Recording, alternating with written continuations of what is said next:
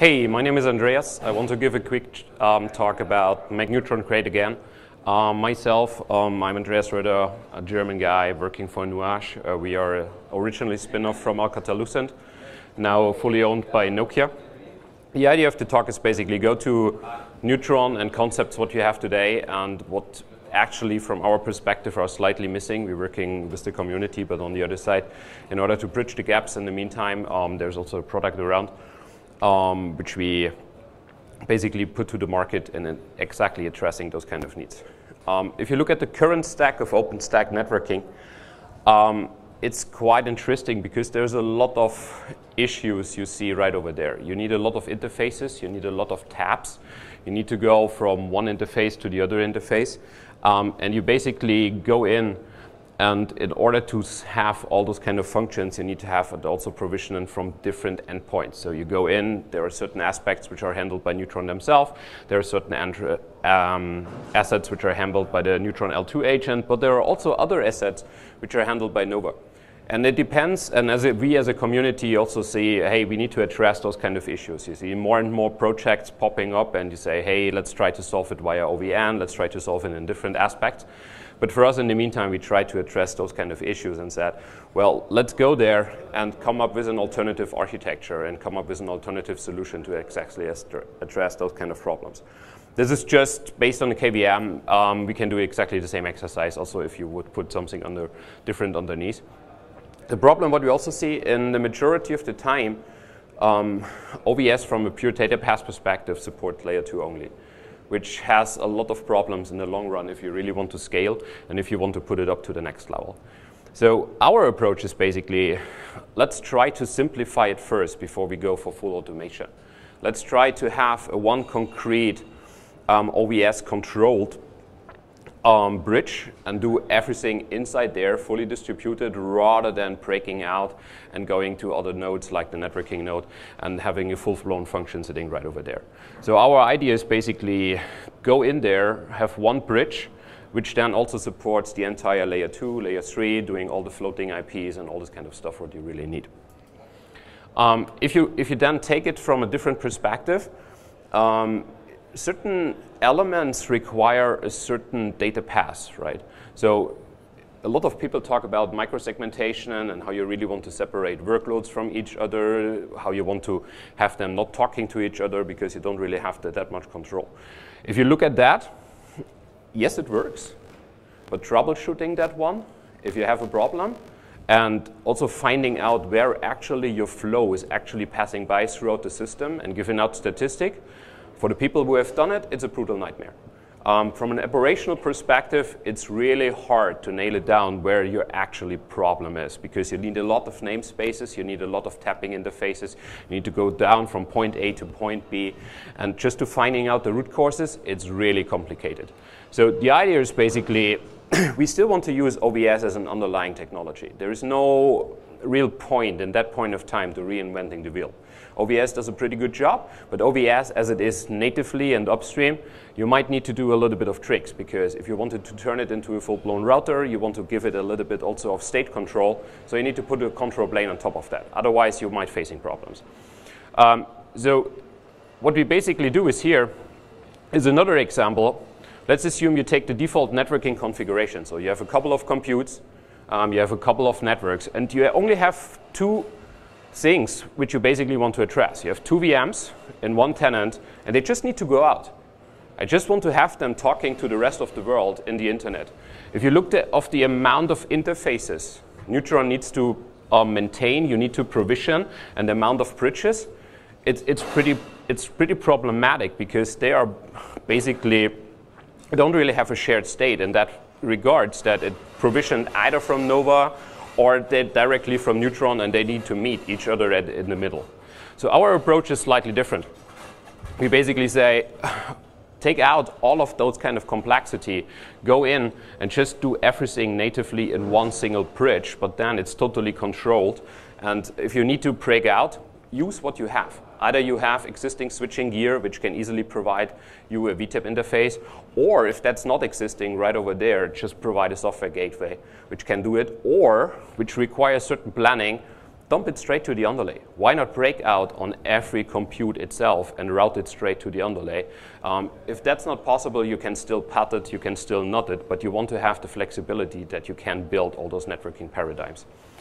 That's what you also see, and that goes more even deeper into technology, that um, we as a networking company, and we build a lot of networks worldwide, um, you see there is certain shortcomings inside Neutron which you need to address. Um, a lot like that, there are multiple projects which tries to address those kind of needs. Um, I think the most popular one where everybody knows is OVN, which goes exactly more or less in that direction and says we need to address those kind of issues.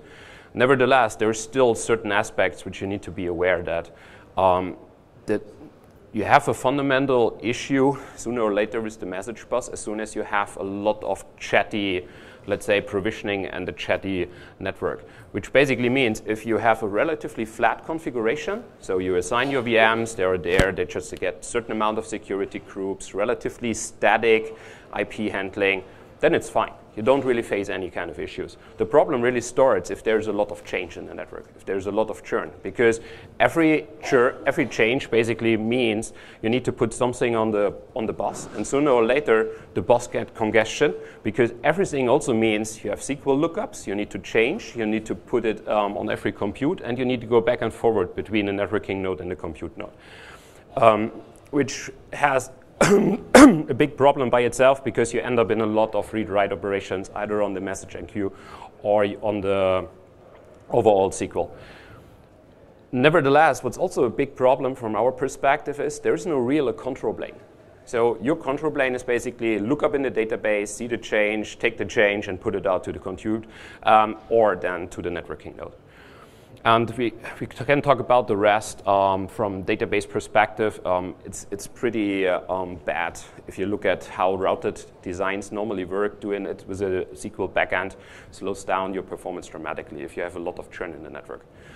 Like said, if you have everything pretty static and there is no real change, keep going. I mean, there is no need. But as soon as you want to have um, a really diverged network, then it's getting complicated. And also, if you look, there is more and more packaging, and people say, hey, I want to have Kubernetes and running OpenStack on top as an application, or I want to have OpenStack and then hosting Kubernetes on top. So there's a lot of dynamics, and might even um, OpenStack get sandwiched between those two layers.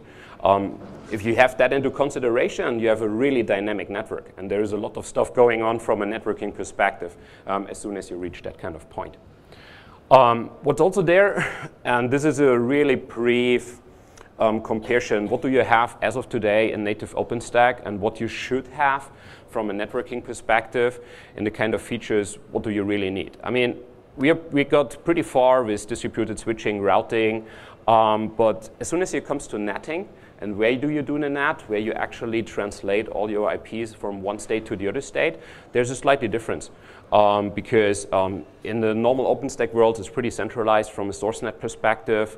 Um, also, if you want to have bare metal support multi-tenancy, there is something good stuff popping up in Newton, but um, there needs to be way more um, flexibility in your network design. And what we basically say is, let's take that baseline, but extend it put something on top which gives you all the networking flexibility which you really need by the end of the day. Because in most of the worlds, OpenStack itself is not self-contained, so you need to break out, you have multi-site deployments, you need to go from one data center towards another data center, you maybe want to cluster everything together. So as soon as you have that kind of need, there's a big interest also to say, hey, I want to put it also with my data center gateways. I want to talk from point A to point B. Why not provision them directly out of the box? Um, and what you also get is a lot of um, routing optimization. You have a lot of um, resource where you say, hey, yes, I want to have those kind of tenants totally isolated, but nevertheless, there is still a need that they can talk to each other. I might have shared tenants where there is certain infrastructure needs which I need to leak to every other tenant, but I still want to have a protection. I want to have a really granular route control, what I want to do. Um, you want to have, it depends again a little bit on your application. You want to see a little bit of do I need multicast? And if I have multicast, how I can optimize that further? Do I just pump all the multicast traffic into the overlay or do I just go forward? Um, so what we basically provide is a single architecture. I don't want to go in too much detail, but it basically gives you the option to do it for OpenStack. But the beauty of the platform is you can also do it for any other workload you have in the data center.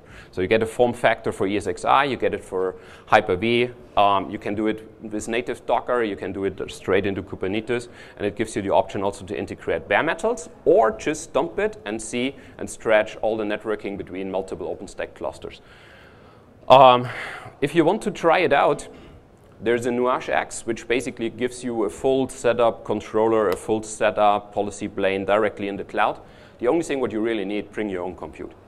So set up something which works as your own compute. You can directly try it out. Um, the page to try it out is um, nuagex.io, um, where you get all the documentation.